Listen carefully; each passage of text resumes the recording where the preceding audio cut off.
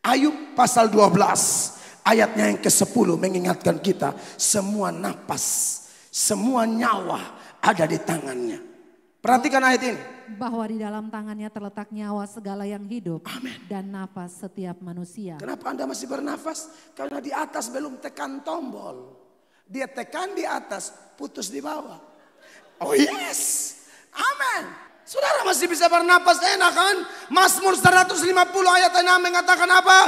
Biarlah segala yang bernafas memuji Tuhan. Haleluya. Kalau masih bernafas, puji Tuhan. Itu nafas Tuhan kasih bukan kepentingan duniawi. Itu nafas Tuhan kasih bukan hanya urus hal-hal lahiriah. Itu nafas Tuhan kasih supaya puji dia, layani dia, berdoa, baca Alkitab, buat yang terbaik bagi gerejamu dan gerejaku. Itu yang Paulus bilang. Kalau hidup bagi Kristus, mati keuntungan. Karena waktu hidup atau bernafas, semua bagi Kristus. Makanya mati untung. Ini kadang-kadang pemabok juga mati tulis itu ayat. Nggak cocok. Mati mabok naik motor tabrak pohon masuk got. Bagiku hidup adalah Kristus. Mati adalah keuntungan. Dari mana lu hidup bagi Kristus pengacau?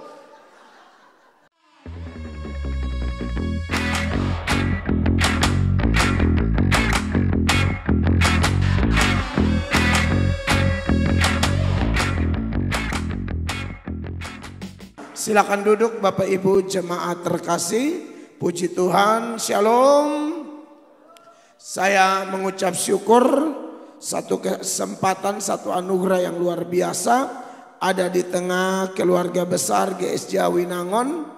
Uh, ini adalah satu kesempatan yang sangat baik bagi saya untuk ada di sini dan berbagi berkat. Memang Bapak Ibu jemaat beberapa waktu terakhir ini ya, suara saya akhirnya agak sedikit eh, bermasalah, tetapi puji Tuhan sound system di Gesia Winangon ini kelihatan sangat mendukung ya. Dan kurang lebih satu bulan terakhir lah, maklumlah pendeta-pendeta, apalagi kalau sudah bermain di YouTube maka pasti agak sedikit sibuk. Ya, dan puji Tuhan karena kemurahan Tuhan tahun ini jadwal saya paling banyak di gereja sidang jemaat Allah Indonesia. Karena saya sendiri dari GSJA Amazing Grace di Kota Kupang di bawah naungan Badan Pengurus Daerah Smart NTT.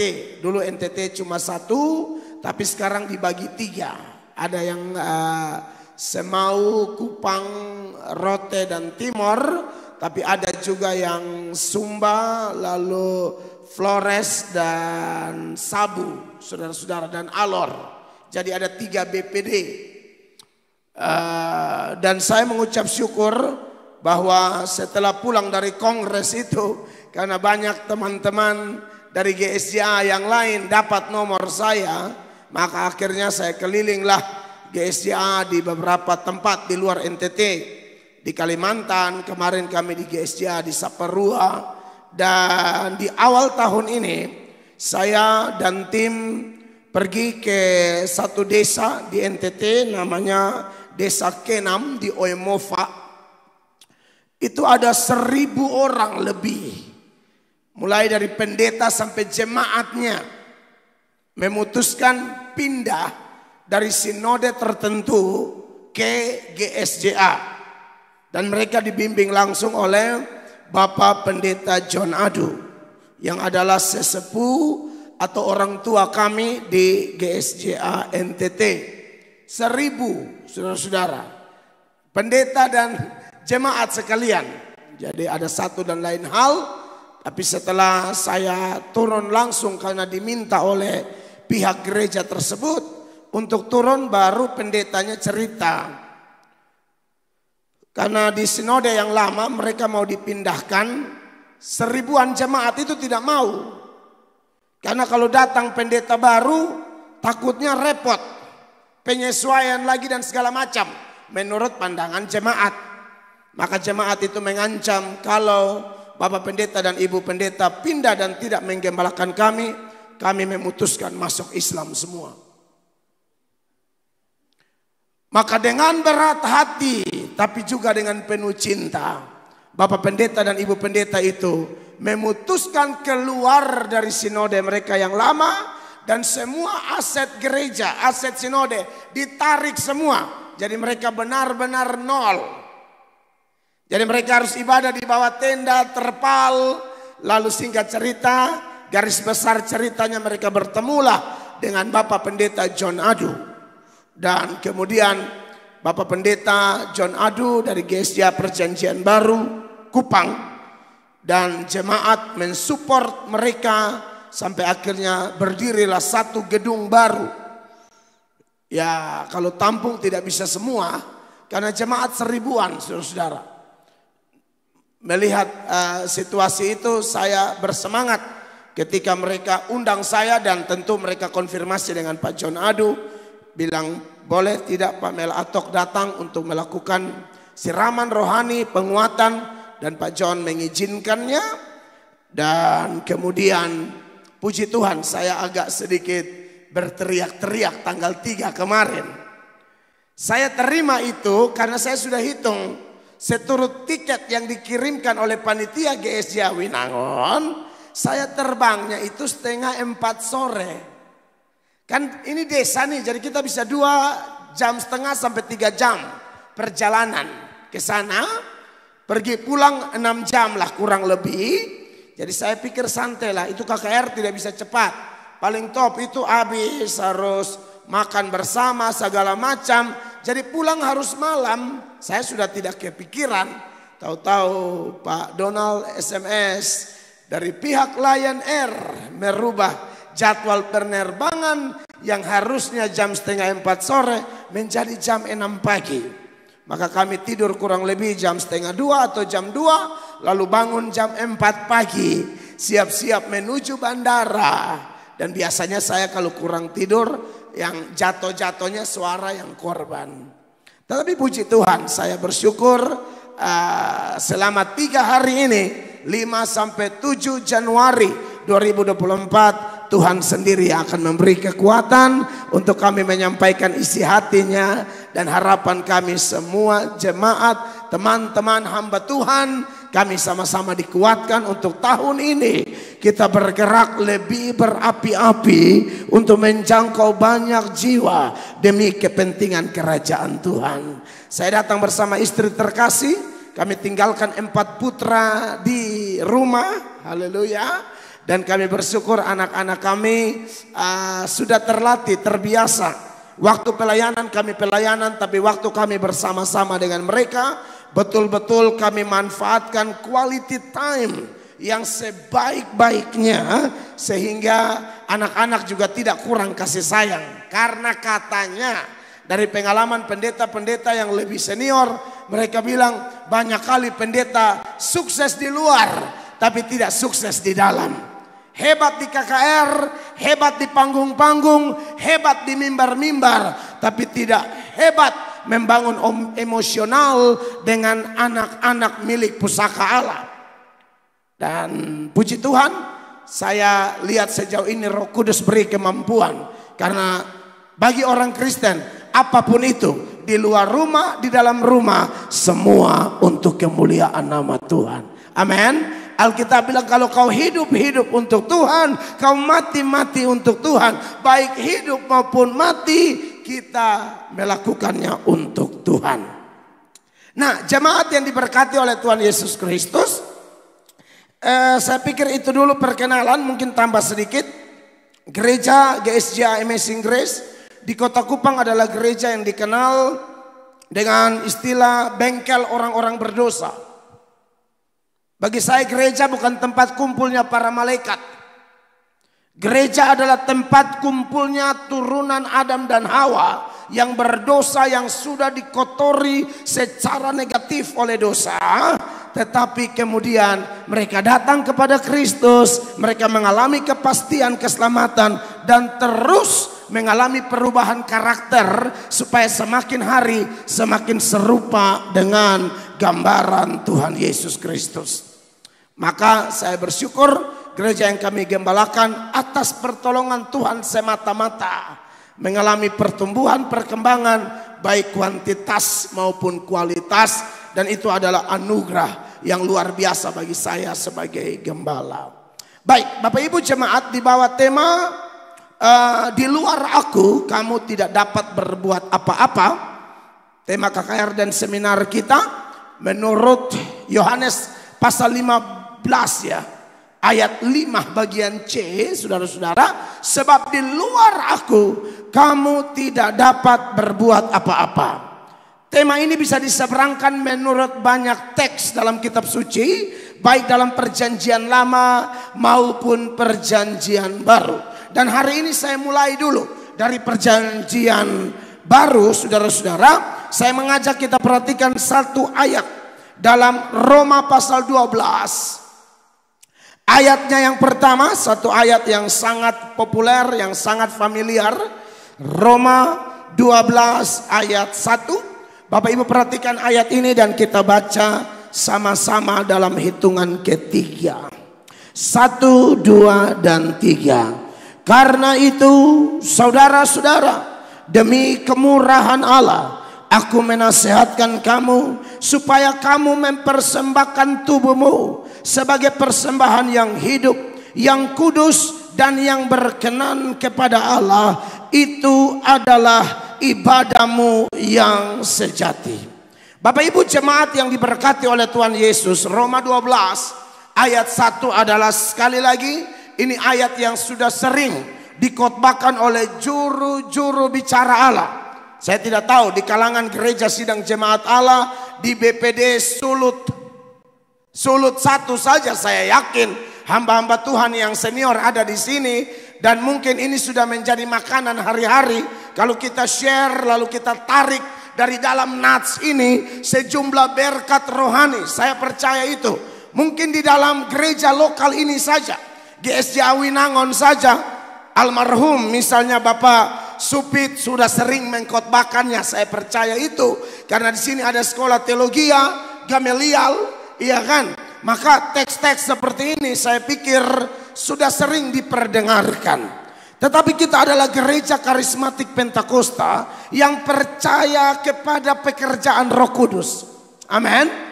Kalau kita percaya kepada pekerjaan Roh Kudus, jemaat yang diberkati oleh Tuhan Yesus, maka kita mempercayai bahwa dari satu teks, dari satu ayat saja saudara-saudara, Roh Kudus yang kita percayai sebagai pusat pujian penyembahan kita. Pribadi ketiga dari Allah Tritunggal itu sanggup memberikan hikmat, sanggup memberikan kemampuan kepada hamba-hamba Tuhan sehingga pada waktu kita mengkotbahkannya, menjabarkannya dengan pesan yang berbeda-beda tapi tidak bertentangan satu dengan yang lain.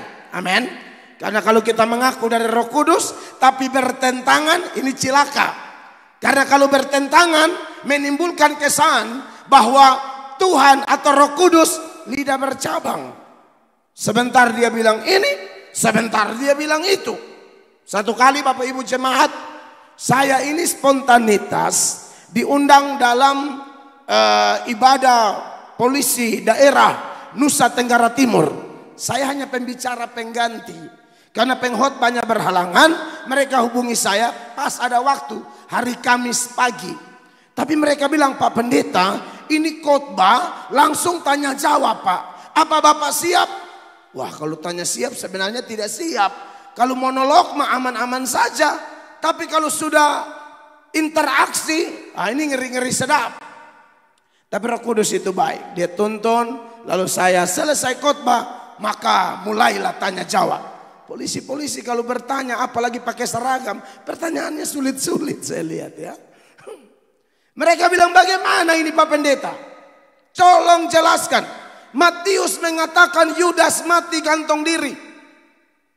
Tapi dokter Lukas dalam kisah para rasul mengatakan Yudas mati jatuh tertelungkup perutnya terbelah isi perutnya keluar semua. Yang mana yang benar pak? Kesannya Alkitab tidak konsisten. Matius ngomong lain, Lukas ngomong lain. Matius bilang gantung diri. Lukas bilang jatuh tertelungkup perut terbelah. yang betul yang mana. Belajar teologi ya harus. Tetapi lebih daripada itu kebergantungan kita kepada Roh Kudus. Amin kekasih Allah. Maka dengan pertolongan Roh saya kemudian ini spontanitas saya jawab, saya bilang tidak ada yang bertentangan. Tuhan tidak mungkin kasih firman bertentangan.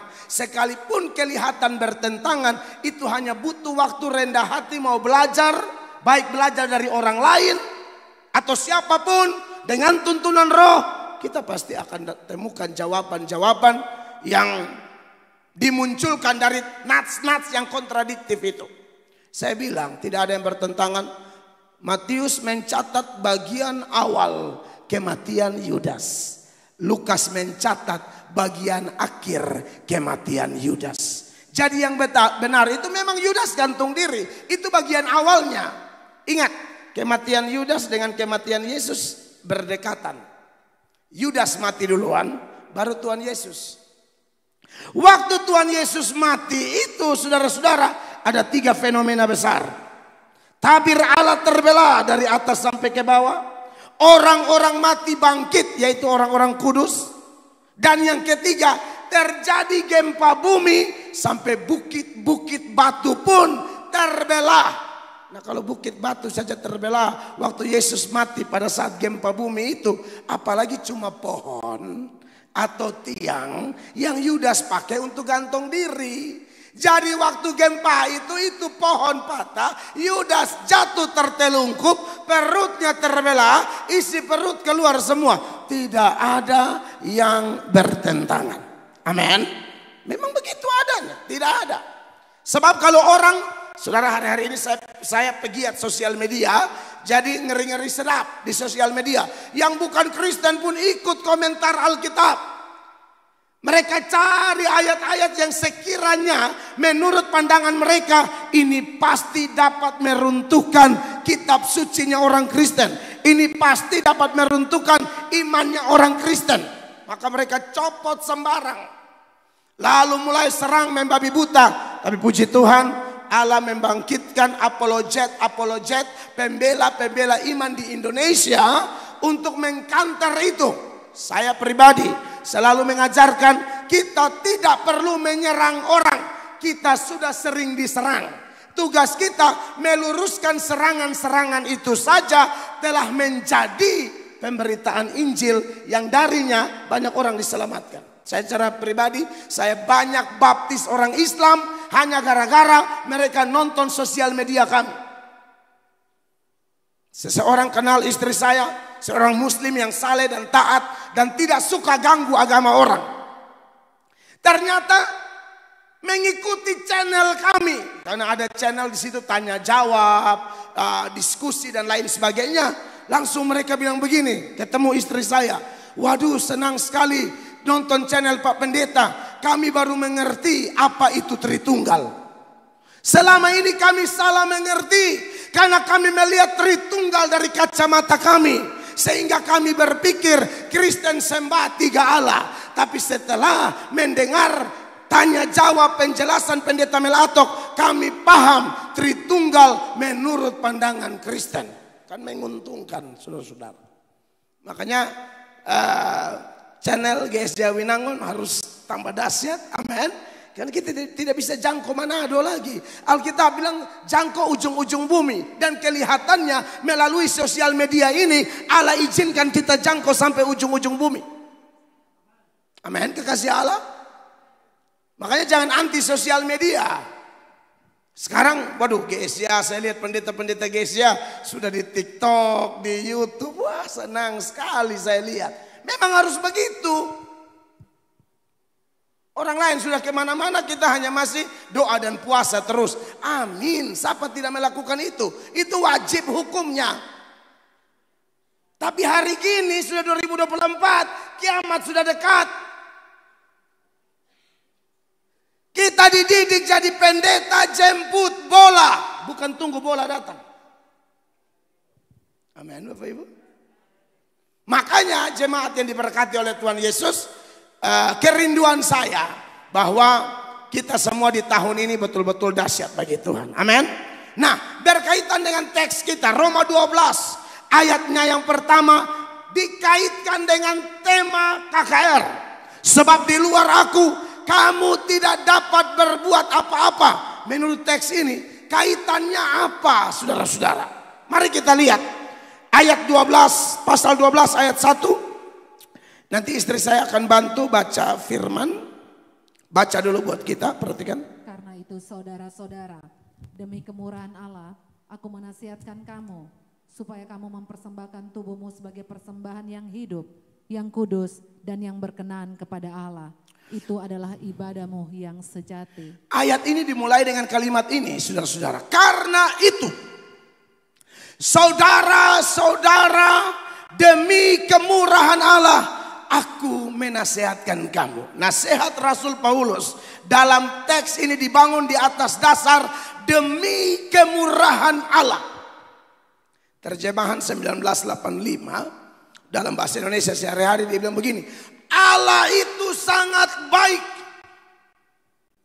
Dikaitkan dengan tema kita, kata kemurahan Allah menurut teks kita terjemahan 1974 yang kita pakai sekarang yang ditayangkan di layar.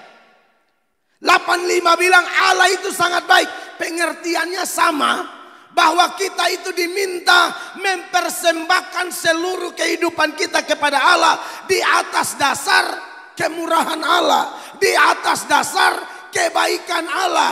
Nah, Bapak Ibu jemaat, kalau kita bahas kemurahan Allah, kita bahas kebaikan Allah, saya pikir ini tidak akan habis-habisnya kekasih Allah. Amin.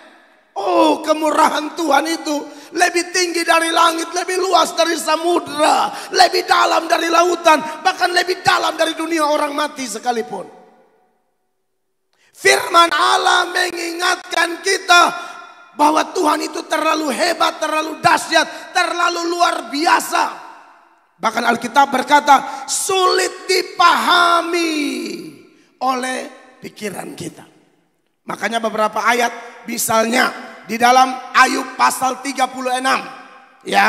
Ayub 36 ayatnya yang ke-26 di sana penulis berkata demikian seputaran Allah yang kita sembah. Dia bilang begini saudara-saudara. Sesungguhnya Allah itu besar, tidak tercapai oleh pengetahuan kita. Sesungguhnya Allah itu besar, tidak tercapai oleh pengetahuan kita. Mau dokter teologi ya, profesor teologi ya, sehebat apa pun. Ini ayat bilang Allah itu besar, tidak tercapai oleh pengetahuan kita. Seorang bapak gereja setelah zaman Paulus dipercaya sebagai salah satu bapak gereja paling populer dan paling berpengaruh namanya Agustinus. Dalam salah satu versi cerita sebagai seorang teolog, sebagai seorang pemikir rohani, dia juga mengalami kepenatan. Ya maklumlah, kita pendeta hamba Tuhan juga belajar-belajar kadang-kadang buntu juga kan. Karena ini ayat bilang tidak bisa dicapai oleh pengetahuan kita. Kalau Allah sudah bisa dijelaskan oleh seseorang sampai detail-detail, saya pikir itu bukan Allah lagi. Bagaimana ciptaan bisa menjelaskan pencipta secara detail? Toh otak kita dia yang cipta. Ukurannya juga kayak bakpao. Hanya dengan otak seperti itu kita bisa menggali dan menjelaskan Allah sampai detail-detail. Rasa-rasanya mustahil kekasih Allah. Mustahil. Maka Agustinus dalam kepenatannya itu Bapak Ibu jemaat. Dia refreshing di pinggir pantai dalam salah satu versi cerita. Dia ref, apa, refreshing di pinggir pantai. Dan waktu di pinggir pantai itu. Datanglah seorang anak kecil. Di pinggir pantai sejauh mata memandang lautan yang luas. Itu seperti dari kamar hotel tempat saya nginap tuh lihat, waduh, lautan yang luas. Tapi Agustinus di pinggir pantai. Lalu datang seorang anak kecil mengantarkan tempurung kelapa kepada dia. Lalu ada suara di hatinya bilang, coba timba air laut di depanmu itu pakai tempurung itu. Waktu dia timba, suara itu bilang begini, otakmu hanya seperti tempurung itu. Allah ibarat lautan lepas yang ada di depan matamu. Yang kau bisa tampung tentang Allah cuma segitu. yang tidak mau tidak bisa kau tampung segitu. Saudara-saudara, bukan perkara mudah. Amin. Dia Allah yang maha kuasa yang secara jujur tidak mampu dijangkau oleh otak terbatas kita. Makanya di pasal 37 dari Ayub, ayatnya yang ke-23 bagian awal, dia berkata demikian. Yang maha kuasa, yang tidak dapat kita pahami. Yang maha kuasa, yang tidak dapat kita pahami. Besar kekuasaan dan keadilannya. Yes. Walaupun kaya akan kebenaran, ia tidak menindasnya. Saudara-saudara, jadi kalau saya berkhotbah selama tiga hari ini, itu tidak mewakili semua mua tentang Allah. Tetapi saya harus kasih tahu, itu lebih dari cukup untuk membangun iman kita. Makanya Yohanes mencatat toh. Yohanes bilang kalau dicatat semua, sepertinya semua dunia ini tidak bisa muat cerita tentang Allah tidak bisa. Masih banyak hal yang Yesus lakukan yang tidak dicatat di kitab suci, tapi yang dicatat itu sudah cukup.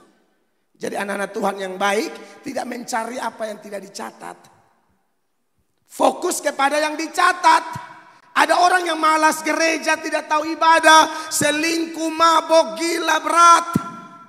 Suka tuh bikin pertanyaan yang begitu. Tapi bagaimana dengan bagaimana dengan hello? Ada dua jenis kehendak Allah Bapak Ibu ya. Ulangan 29 ayat 29. Ada kehendak Allah yang tersembunyi dan kehendak Allah yang dinyatakan. Tolong catat ini. Ulangan 29 ayat 29 saya jelaskan nanti. Hal-hal yang tersembunyi ialah bagi Tuhan. Hal-hal yang tersembunyi ialah bagi Tuhan. Amin. Kiamat kapan? Urusan Tuhan. Kau tak usah cari tahu itu. Nanti pusing. Bahkan tanggal meninggal kita kapan? Diam. Tunggu saja nomor antrian. Tak usah cari tahu, cek and recheck. Nanti Tuhan kasih tahu kau stres. Misalnya tanya, Tuhan kapan, Tuhan kapan? Tuhan bilang pertengahan Januari. Di Manto satu. Oh langsung kasih tahu keluarga itu. Ingat, sekitar 15 Januari, tolong jaga Bapak supaya Bapak jangan ke Mantos. Kalaupun mantos, mantos dua, mantos tiga. Jangan sampai mantos satu. Karena setelah doa, Tuhan kasih tahu pertengahan Januari ngana habis di mantos satu. Kan stres. Seperti saya baca ilustrasi itu. Pernah dengar ilustrasi? Di ini cerita klasik di Baghdad, di Irak. Ada seorang tuan suruh eh, anak buahnya pergi ke pasar. Beli sesuatu. Waktu di pasar menurut cerita itu dia ketemu MM. Malaikat maut. Ya, bukan Maria Moninja ya. Malaikat maut, saudara-saudara melambai-lambaikan tangan. Sini jongana. Oh, takutkan dia? Lari terbirit-birit, terkencing-kencing. Pulang sampai ke rumah tuannya. Dia bilang, Tuhan, aduh tolong kasih saya satu ekor kuda. Saya mau lari. Kenapa? Saya ketemu malaikat maut di pasar. Dia melambai-lambaikan tangan. Sepertinya dia mau cabut nyawa saya. Oh pokoknya tuannya tidak bisa tahan dia karena saking takutnya dia. Lalu tuannya bilang kau mau lari ke mana? Saya mau lari ke kota Samara. Kota mana Bapak Ibu? Samara. Maka tuannya tidak bisa menahan dia. Maka larilah dia ke kota Samara. Pada waktu dia lari, tuannya penasaran. Lalu tuannya pergi ke pasar, ternyata MM masih ada. Malaikat mau. Dengan grogi berat, dia mendekati MM lalu tanya, ah, minta maaf izin tanya tadi ah, mau cabut nyawa pembantu saya ya. Oh yang tadi lari kata si malaikat maut. Yang tadi lari terbirit-birit. Iya, enggak saya tuh tidak mau cabut nyawanya. Saya panggil dia. Ini peristiwanya jam 12 siang. Saya panggil dia. Kamu ngapain lagi di pasar sini? Karena menurut buku Al-Hayat. Daftar orang-orang yang harus mati. Dia itu harus mati malam ini di Samara. Dia lari ke mana tadi? Saudara, dia pikir dia lari menghindari kematian. Salah, dia lari jemput kematian. Tidak ada yang bisa menghindar, hanya tersembunyi. Jadi jangan minta-minta Tuhan kasih tahu ya. Nanti stres. Tuhan mau ambil kapan terserah Tuhan. Urusan kita berto, iya dong. Jangan Tuhan pas ambil belum bertobat. Domba kanan, kambing, itu dia tempat kita yang tidak bertobat. Nah Bapak Ibu jemaat yang diberkati oleh Tuhan Yesus Kristus. Hal-hal yang tersembunyi itu bagi Allah. Tapi ini ayat dilanjutkan bagi kita yang mana? Perhatikan. Tetapi hal-hal yang dinyatakan ialah bagi kita dan bagi anak-anak kita. Sampai di situ. Hal-hal yang tersembunyi itu Tuhan punya. Tak usah cek. Itu bukan pedoman kita. Pedoman kita adalah yang ini nih. Yang dinyatakan. Dia suruh bertobat. Ya, dia suruh ampuni orang. Amin. Dia suruh berbalik dari jalan-jalan jahat. Dia suruh rajin baca Alkitab. Dia suruh rajin berdoa. Dia suruh memberitakan Injil. Dia suruh menabur. Itu yang dinyatakan banyak orang. Apa yang dinyatakan tidak pernah dilakukan. Tapi ngotot cari apa yang tersembunyi. Salah alamat. Itu kan bagi Tuhan bukan bagi kamu dan aku. Amin Bapak Ibu. Banyak orang suka begitu. Kira-kira kapan kiamat? Eh, enggak ada urusan kau. Kiamat-kiamat apa? Lu bertobat. Minum cap tikus terus tapi tanya kiamat kapan? Berhenti itu cap tikus. Ngana batanya, baku sedu ngana ini. Tak usah banyak tanya. Amin, kekasih Allah. Dia pasti kembali, ready or not, Jesus coming, right? Dia pasti kembali, mau siap tidak siap dia datang. Maka dari itu jemaat yang diberkati, sekali lagi kalau saya sampaikan apalagi tentang kemurahannya, tentang kebaikannya, tentang kasihnya, saya pikir saya tidak mampu menjelaskan semua. Tapi beberapa yang saya jelaskan kiranya mengingatkan kita bahwa di luar dia kita tidak bisa berbuat apa-apa. Seorang penulis puisi, dia menulis tentang kasih Allah. Dia bilang andai kata langit adalah kertas, semua manusia adalah penulis, lautan adalah tinta, semua pohon-pohon adalah penanya. Tetapi semua penulis sudah mati, tinta sudah kering, tapi cerita tentang Allah belum selesai. Karena memang tidak bisa selesai. Dia Allah yang wakbar. Dalam dunia teologi kita kenal dengan istilah transendensi Allah. Dia Allah yang besar, nun jauh di sana. Kebesarannya seperti apa? Aduh besar sekali, saya juga tidak bisa gambarkan. Tahu usah besar bandingkan Allah dengan langsung cari tahu kebesaran Allah. Lihat aja perbuatan tangannya dia. Itu aja kita sudah kagum. Tata surya kita. Amin. Kita ada Tuhan atur begitu rupa tidak dekat matahari. Tapi juga tidak terlalu jauh dari matahari. Kalau terlalu jauh dingin sekali kita tidak sanggup. Terlalu dekat panas sekali kita hancur. Makanya Tuhan atur tuh di ketiga. Tapi ukuran bumi ini kalau dengan Merkurius masih hebat bumi. Tapi kalau udah dengan Jupiter nggak bisa. Bumi sudah kalah ukuran, apalagi dengan matahari. Dipercaya satu matahari bisa menampung satu juta tiga ratus bumi, satu matahari. Matahari besarnya kayak bola basket. Bumi kayak gundu, kelereng. Di atas matahari masih ada benda-benda angkasa lain. Seperti IRS-5, Antares. Itu Antares besarnya kayak bola basket. Matahari kayak titik. Saudara cari bumi, nggak dapat lagi. Apalagi Winangon. Ngana cari di peta zoom sampai itu iPad retak. Nggak muncul itu Winangon. Manado aja nggak muncul. Sudah nangkap ya? Antares bola basket, matahari titik. Bumi jangan cari lagi, udah gak ketemu. Tata surya kita ini ada di galaksi yang namanya Bima Sakti. Yang bentuknya kayak cakram. Yang menampung ratusan miliar bintang-bintang dan planet. Bumi ada di situ, nggak cari nggak dapat. Kalau mainannya galaksi ya. Di sekitar galaksi Bima Sakti ada miliaran galaksi lagi. Itu semua Tuhan yang cipta. Bayangkan sendiri kebesarannya seperti apa. Makanya Salomo selesai menangani mega proyek bait Allah yang dilapisi emas, yang dijuluki the golden house. Salomo bilang apa dalam doanya? Dalam doanya yang panjang di penggalan doanya. Satu Raja-Raja 8 ayat 27. Saudara lihat doa Salomo di sana. Salomo bilang apa? Perhatikan. Tetapi benarkah Allah hendak diam di atas bumi? Tetapi benarkah Allah hendak diam di atas bumi? Sesungguhnya langit, bahkan langit yang mengatasi segala langit pun tidak dapat Sesungguhnya langit yang mengatasi segala langit pun tidak dapat memuat Allah. Terlebih lagi rumah yang kudirikan ini. Maka berpalinglah kepada doa dan permohonan hambamu ini ya Tuhan 27 Allahku. aja ya. Saudara-saudara, langit yang mengatasi segala langit tidak bisa muat Allah. Makanya kenapa kalau dalam menyembah Tuhan tuh jangan main-main. Pada waktu kita nyanyi, sebab kau besar. Aduh, saudara sembah Allah yang mana? Bumi aja nggak kelihatan, apalagi kita nih. Makanya kita dilarang sombong di hadapan Tuhan. Siapa kita? Ya saya bilang pulau-pulau seperti debu di mata Tuhan. Amin, kekasih Allah. Orang yang kalau baca ayat-ayat ini dengan tenang, dengan tuntunan roh kudus. Aduh, bisa berlutut dalam doa puasa aja udah syukur. Orang tidak ngerti memang mau diajarin juga susah. Itu biasanya eh, tidak pakai khotbah, biasanya pakai selang infus sama kemoterapi. Itu baru mereka tahu.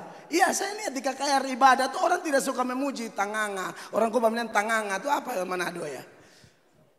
Terbuka mulu dia lihat ini lagu-lagu plafon coklat. Padahal dari dulu ini plafon.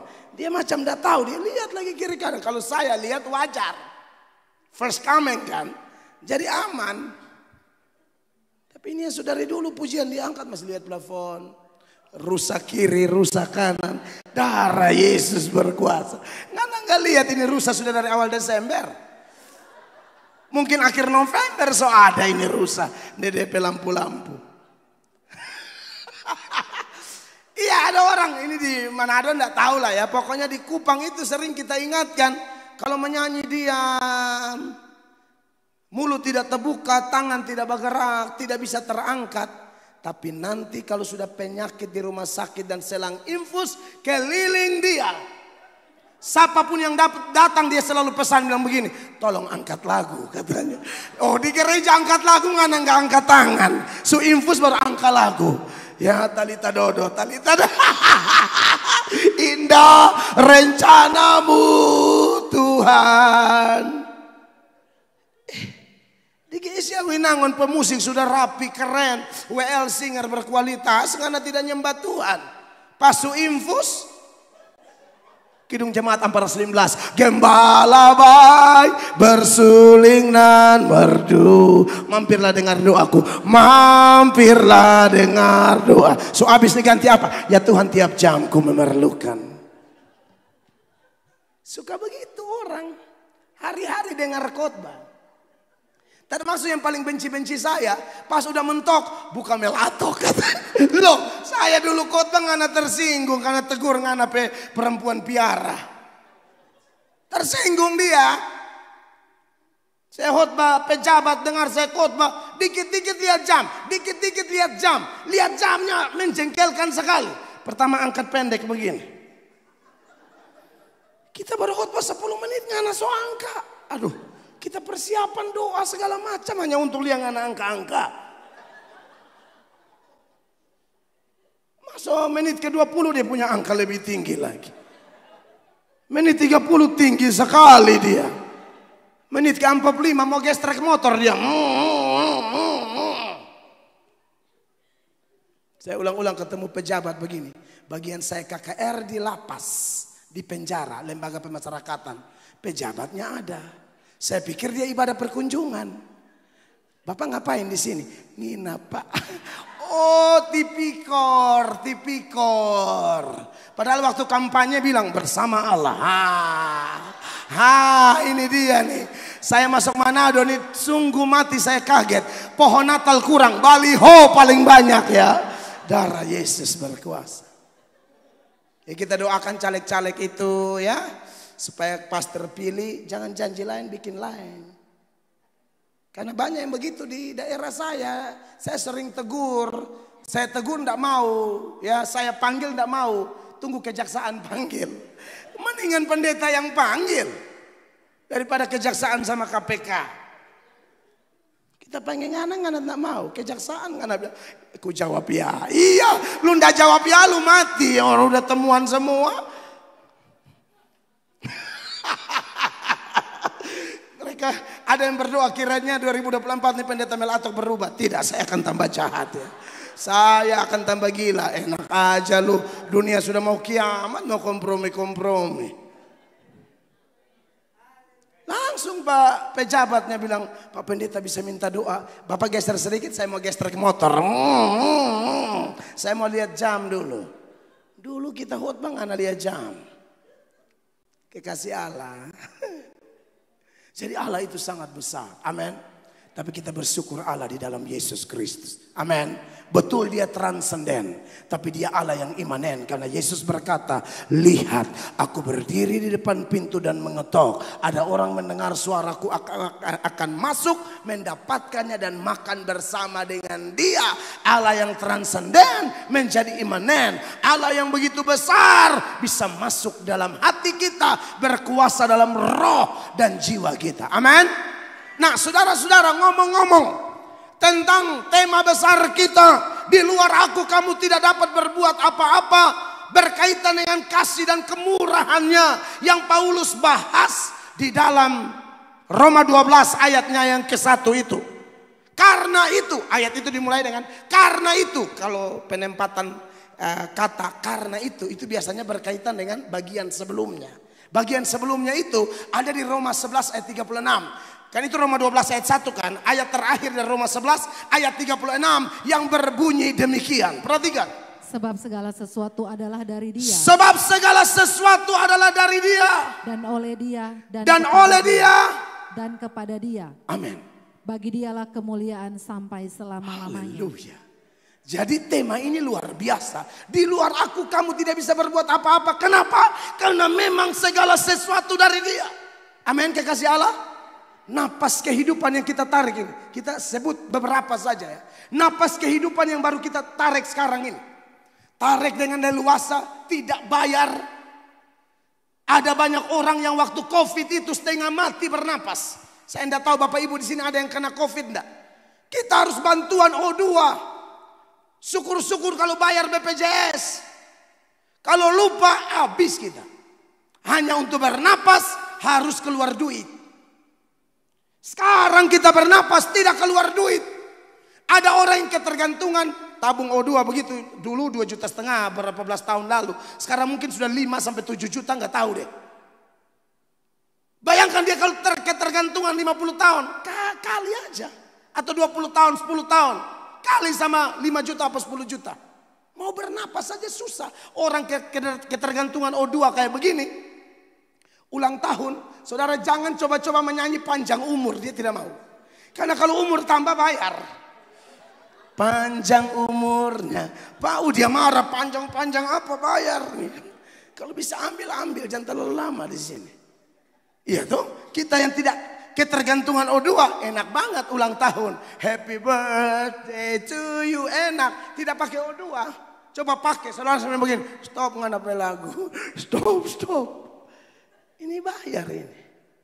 Ayub pasal 12 ayatnya yang ke-10 mengingatkan kita semua napas, semua nyawa ada di tangannya. Perhatikan ayat ini.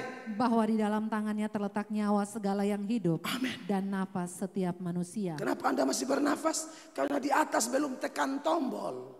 Dia tekan di atas, putus di bawah. Oh yes. Amin.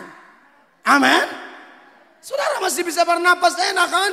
Mazmur 150 ayat 6 mengatakan apa? Biarlah segala yang bernafas memuji Tuhan. Haleluya. Kalau masih bernafas, puji Tuhan. Itu nafas Tuhan kasih bukan kepentingan duniawi. Itu nafas Tuhan kasih bukan hanya urus hal-hal lahiriah. Itu nafas Tuhan kasih supaya puji dia, layani dia, berdoa, baca Alkitab, buat yang terbaik bagi gerejamu dan gerejaku. Itu nafas Tuhan kasih untuk itu. Itu yang Paulus bilang. Kalau hidup bagi Kristus, mati keuntungan. Karena waktu hidup atau bernafas semua bagi Kristus. Makanya mati untung. Ini kadang-kadang pemabok juga mati tulis itu ayat. Nggak cocok. Mati mabok, naik motor, tabrak pohon, masuk got. Bagiku hidup adalah Kristus. Mati adalah keuntungan. Dari mana lu hidup bagi Kristus pengacau? Orang gas motor tanggal 31, dia gas sampai tanggal 7. Mati tanggal 8. Baru hidup adalah Kristus. Mati keuntungan. Saya KKR di Manokwari. Aduh kaget saya di Manokwari. Datanglah. Karena itu seminar pendeta-pendeta Bapak Ibu terkasih. Seminar pendeta-pendeta itu PGPI. Persekutuan Gereja Pentakosta Indonesia. Pembicaranya Ketua GPDI Pak John Weo. Weo John Weo lah John. Weo. Orang Manado. Tidak tahu sudah ganti atau masih beliau waktu itu beliau juga kurang sehat. Lalu Ketua PGPI Pak Jason Balong Pampueng. Dan saya. Padahal saya baru tahu kalau GSJA tidak masuk dalam PGPI.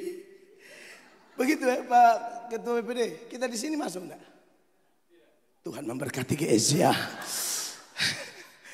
Tapi pendetanya diundang bicara gitu loh Pak. Jadi saya bangga juga akhirnya teman-teman GSJA Manokwari semua ngumpul-ngumpul. Kita harus belajar bergaul sama gereja lain. Jangan pikir di dunia ini GSJA saja. Saya terlalu cinta GSJA. Tapi gereja lain juga Tuhan Yesus punya. Amin. Jadi so abis khotbah KKR seminar makan-makan. Seorang pendeta datang, Pak Mel, kami lihat Pak Mel ini berani Pak Mel. Tapi Mel tidak lawan satu pendeta di Manokwari. Kenapa? Pak Mel bayangkan orang mati mabok Pak. Pendetanya berkhotbah bilang apa? Bapak Ibu jemaat, saudara kita ini jiwanya sudah di neraka. Saya bilang, oh kalau itu memang saya tidak berani. Saya kan mau cangkau yang hidup, ngapain ngomong lagi yang mati? Dia mau ke mana? Kayak urusan lah. Itu bikin tersinggung yang hidup kan.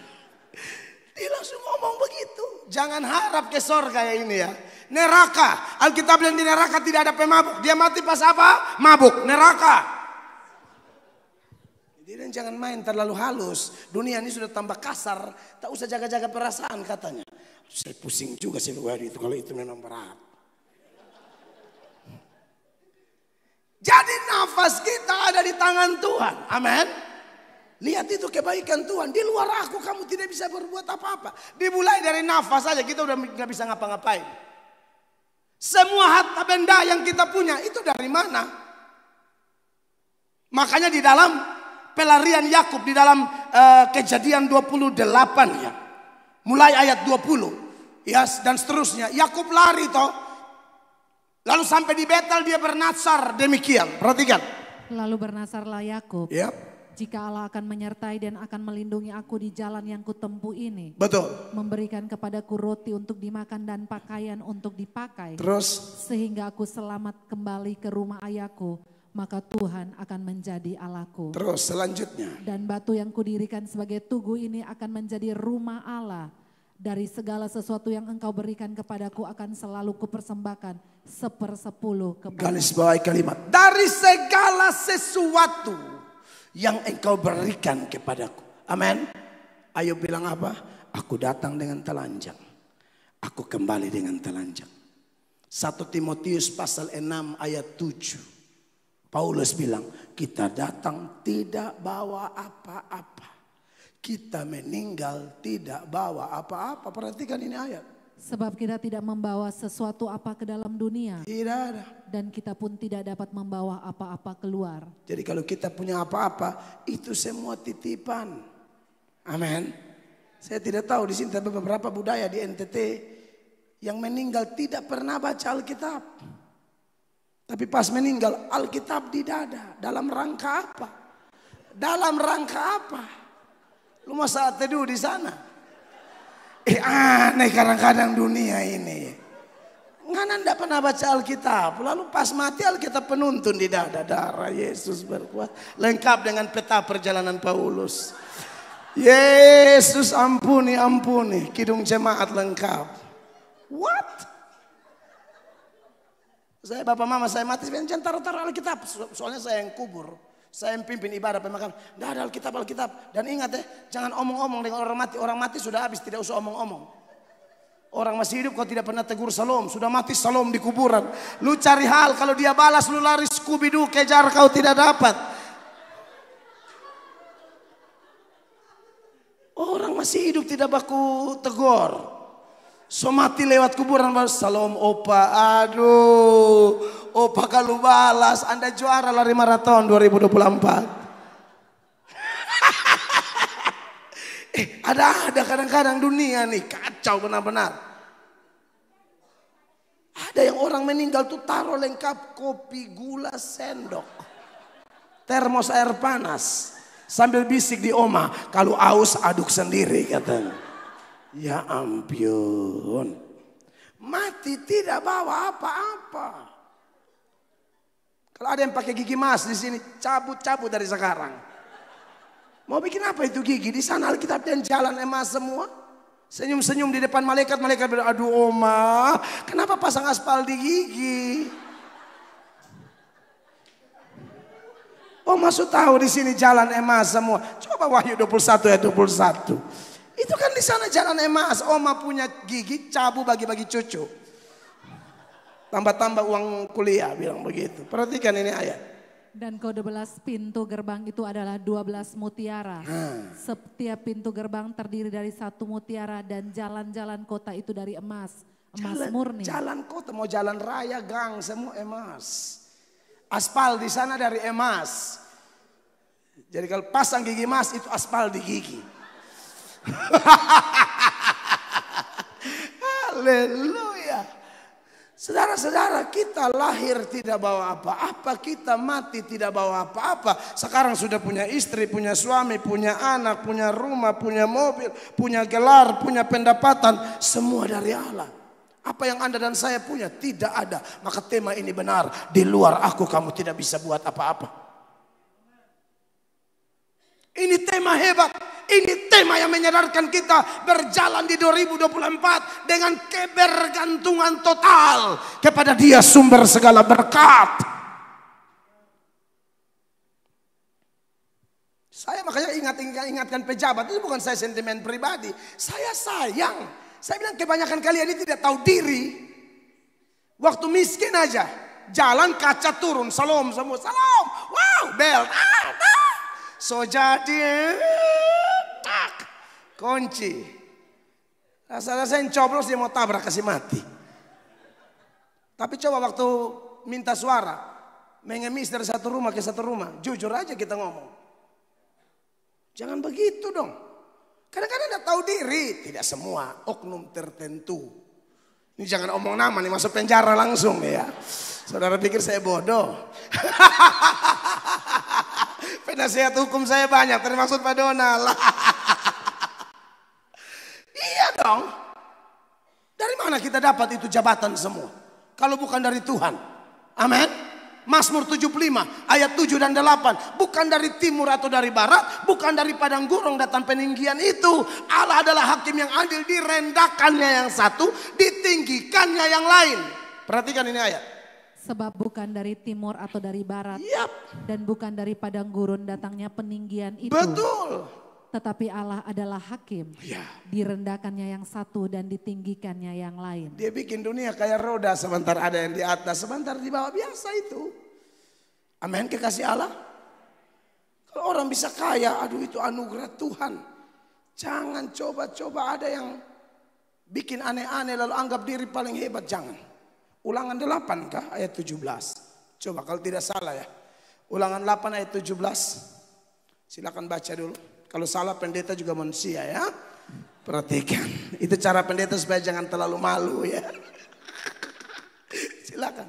Maka janganlah kau katakan dalam hatimu, kekuasaanku dan kekuatan tanganku lah yang membuat aku memperoleh kekayaan ini. Lalu kamu harus ngomong apa 18 perhatikan. Tetapi haruslah engkau ingat kepada Tuhan Alamu. Iya. Sebab dialah yang memberikan kepadamu kekuatan untuk memperoleh kekayaan. Sampai di situ. Sebab dialah yang memberi kekuatan bagimu memperoleh kekayaan. Mau sombong apa? Mau sombong apa? Termasuk pelayanan kita. Amin. Ini kita masuk ke ruang lingkup para pendeta pelayan. Siapa kita? Apa model kayak saya begini? Ini anak preman di jalan yang atas kemurahan Allah dia jama sekolah pendeta melayani khotbah keliling dunia sekarang. Ini anugerah Tuhan semata-mata.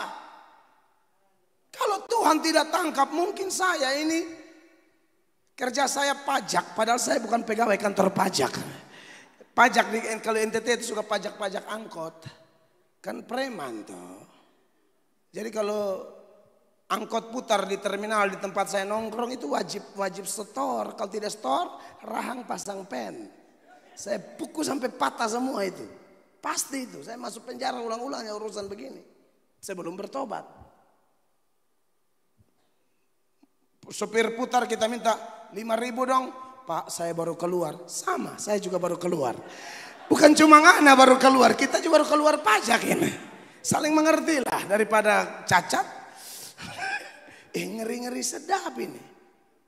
Eh tiba-tiba datanglah seorang preman diubahkan di penjara, menginjil di jalan-jalan, kurang lebih bulan Mei 1999, Mel Atok ditemukan di pinggir jalan lagi merokok. Saya kasih mati rokok, menangis sejadi-jadinya berjam-jam. Saat itu komitmen lalu beri diri dibaptis oleh pendeta John Adu dan sampai hari ini memberitakan Injil. Saya ingat perkataan Yesus, bukan kamu yang memilih aku, tapi aku yang memilih kamu supaya kamu pergi dan menghasilkan buah dan buahmu tetap dan kalau sudah begitu menjadi percaya kepada Tuhan, Yohanes 14 ayat 12 Tuhan bilang apa? Kalau kamu percaya kepadaku, kamu akan melakukan pekerjaan-pekerjaan yang lebih besar dari yang aku lakukan. Perhatikan ini ayat, Yohanes 14 ayat 12. Yohanes 14 ayat 12. Aku berkata kepadamu, yep. sesungguhnya barang siapa percaya kepadaku, yeah. ia, ia akan melakukan juga pekerjaan-pekerjaan yang aku lakukan. Amen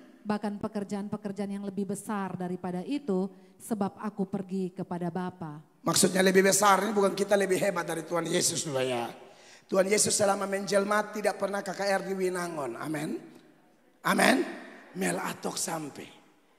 Maksudnya, iya benar. Bukan kita lebih hebat, nggak mungkin kita lebih. Daerah jangkauan kita tuh lebih luas dari yang Yesus pernah jangkau waktu dia menjelma. Karena Yesus seputaran Israel saja. Yesus tidak sampai pernah di Pulang Mengundo. Saya so sampai. Makan ayam bakar satu ayam tuh penuh dengan rica. Sohot capek kan? Menyanyi lagu, ratakan tanah bergelombang. Pas makan, ratakan meja bergelombang.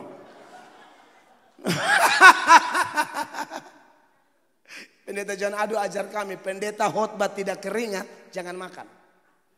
Kan mesti kerja keringat keluar. Pendeta kerjanya apa? Khotbah. Khotbah harus keringat. Ini AC sudah dingin sebenarnya ya.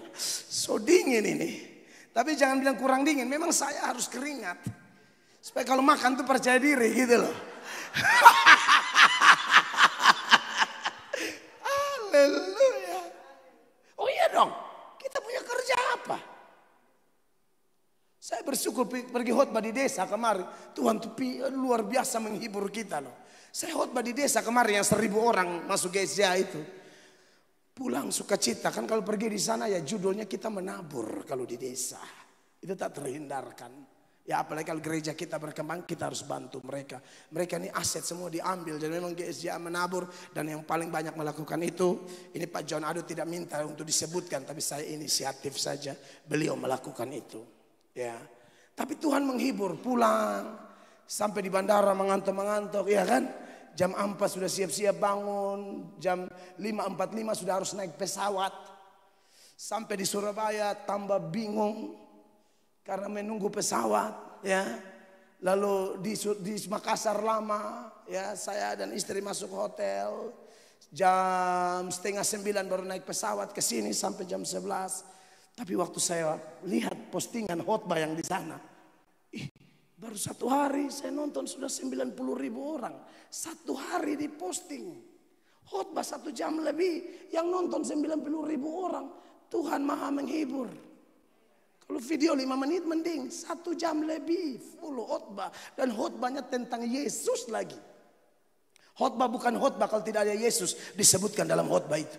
Itu kita Mario Teguh hanya motivasi orang. Kita bukan Mario Teguh. Beda motivator sama preacher. Kita pengkhotbah pemberita firman. Bukan motivasi keuangan. Itu ada orang jago akuntansi. Kadang-kadang pendeta mau sapu semua. Dari sinilah omong olahraga. Hei ada dinas pemuda dan olahraga.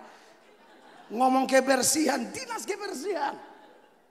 Apa dinas-dinas sudah ada? Kita punya urusan tuh STH, Sarjana Teologia, MTH, Master Teologia. STH itu sarjana ketuhanan. MTH itu Master Ketuhanan. Bukan STH, sarjana tinggi hati. MTH makin tinggi hati. Hancurkan, bertobat. Saudara yang diberkati oleh Tuhan Yesus Kristus. Semua karena Tuhan. Hamba Tuhan kalau berhasil semua karena Tuhan. Amin. Paulus bilang apa dalam 1 Korintus 15 ayat 10. Aku bekerja lebih keras dari mereka semua. Tapi sekali-kali bukan aku. Tapi kasih karunia Allah. Amin. Perhatikan ayatnya. Tetapi kasih karunia Allah adalah aku adalah sebagaimana aku ada sekarang. Yes. Dan kasih karunia yang dianugerahkannya kepadaku tidak sia-sia. Benar. Sebaliknya, aku telah bekerja lebih keras daripada mereka semua. Yes. Tetapi bukanlah bukannya aku, melainkan kasih karunia Allah yang menyertai aku. Bukan aku, melainkan kasih karunia Allah yang menyertai aku. Teman pelayanan saya sakit leukemia sampai berujung cuci darah. Di saat semua orang sehat tidak bisa bantu saya di radio, dia bantu. Dia bantu lalu dia berbagi pengalaman. Pak kemarin ada orang doa saya. Dia datang doa aja, dia sudah bikin tangan di pinggang begini. Bagaimana? Sakit apa? Ini hamba Tuhan model apa ini? Sakit apa? Sudah didoakan oleh siapa? Jadi orang bilang, Pak ini, ini, ini. Oh kalau mereka doanya kurang. Tapi ini. Selesai doa, teman saya tidak sembuh. Pendoanya jatuh motor langsung mati. Serius. Itu yang Amsal 18 ayat 12 bilang. Tinggi hati mendahului kehancuran. Kerendahan hati mendahului kehormatan. Siapa tinggi hati, ancor so tunggu. Siapa rendah hati, promosi Allah so tunggu. Lebih baik rendah hati Jo. Kita ini hamba Tuhan, kita ini hamba bukan Tuhan atau nyonya. Tidak ada Tuhan atau nyonya di gereja, kita ini hamba di gereja. Bahkan eh, itu Lukas 17 ayat 10, Tuhan Yesus bilang, kamu kalau sudah bikin apa-apa tolong ingat pesan Tuhan ini. Ini buat kita semua ya. Teman-teman pelayan, singer, song leader, pemusik semua di gereja. Tolong ingat ini. Semakin kita rendah hati Allah semakin angkat gereja kita. Saya sudah lihat itu dengan mata kepala. Tuhan promosi orang rendah hati. Karena memang kita tidak bisa apa-apa. Di luar aku kamu tidak bisa berbuat apa-apa. Perhatikan ini ayat. Demikian jugalah kamu apabila kamu telah melakukan segala sesuatu yang ditugaskan kepadamu, Amen. hendaklah kamu berkata, kami adalah hamba-hamba yang tidak berguna. Yes. Kami hanya melakukan apa yang kami harus lakukan. Makanya Paulus aku bekerja lebih keras dari mereka semua. Tetapi bukan aku. Melainkan kasih karunia Allah. Amin Bapak Ibu. Semua dari Tuhan. Dan dari semua pemberian itu masih banyak lagi. Saya sudah bilang pasti saya terbatas. Karena ini Allah yang maha kuasa. Saya sebut beberapa saja. Tapi yang paling besar apa Bapak Ibu? Apa kasih Allah terbesar? Dia berikan Yesus bagi kita. Amin. Itu paling puncak. Karena begitu besar kasih Allah akan dunia ini. Sehingga ia telah mengaruniakan anaknya yang tunggal. Supaya setiap orang yang percaya kepadanya tidak binasa. Melainkan beroleh hidup yang kekal. Apa yang paling mahal di ini hidup? Nyawa kita. Jadi saudara jangan hina orang lain karena dia tuh punya nyawa berarti dia sangat berharga. Harga nyawa tuh berapa? Aduh pokoknya terlalu mahal deh. Mazmur pasal 49 ayat 8. Ini saya mau dekat-dekat habis. Tapi belum habis. Hanya mau dekat-dekat. Mazmur 49 ayat 8 berkata demikian. Tidak ada seorang pun dapat membebaskan dirinya atau memberikan tebusan kepada Allah ganti nyawanya. Kenapa? Sembilan, jemaat baca. Sama-sama, tunjukkan di layar pemain, cepat. Satu, dua, tiga. Karena terlalu mahal harga pembebasan nyawanya dan tidak memadai untuk selama-lamanya. Satu nyawa itu berharga luar biasa. Tuhan Yesus bilang apa? Kamu punya seluruh dunia, tapi kamu kehilangan nyawamu. Dengan apa kau bayar itu nyawa? Tidak bisa. Masih ingat Tuhan Yesus kasih pindah setan dari orang di Gerasa ke dalam dua di ribu babi? Itu orang gila loh. Bahkan nyawa orang gila pun di mata Yesus sangat berharga. Itu nyawa orang gila yang udah kerasukan, dihindari orang tinggal di kuburan. Keluarganya bukan mau dekat sama dia. Tapi bagi Yesus kita, orang ini berharga. Maka dia pindahkanlah setan-setan itu ke dalam 2000 babi. Babi satu ekor berapa? Coba kita hitung sekarang. Ini sudah mau habis. Supaya kita prediksi lah. Hmm? Di Manado murah memang saya tahu. Sebelum Natal kan 30 ribu satu kilo kan. Natal kemarin 80 ribu. Kita cek harga semua. Jangan pikir hanya pendeta tidak tahu perkembangan pasar. Saudara.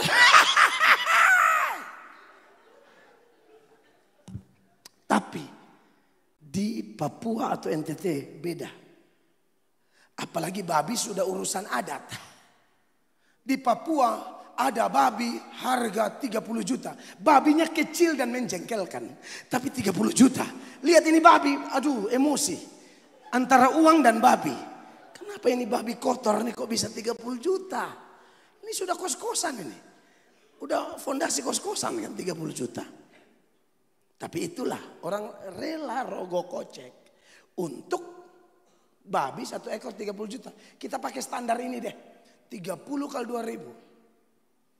60 miliar.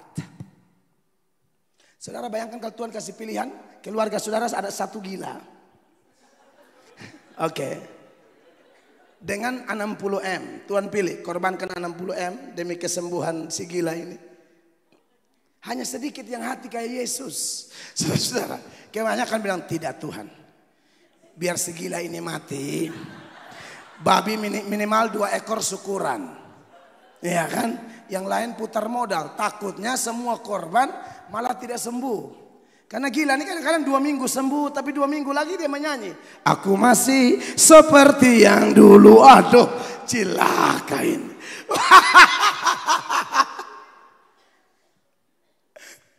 Karena saya dengar ada cerita orang gila begitu. Mereka pikir dia sudah sembuh. Kenapa mereka kira dia sudah sembuh? Ada temannya jatuh di got, dia tolong. Mereka bilang, waduh, so sembuh dia ini. Tapi besok teman yang dia tolong ini mati gantung diri. Orang cerita dia, eh ngana pe kawan yang ngana tolong jatuh di got gantung diri. Dia bilang apa? Nggak, kita yang jumur dia biar kering katanya. Waduh, lu pikir handuk. Ternyata belum sembuh. Nah jadi.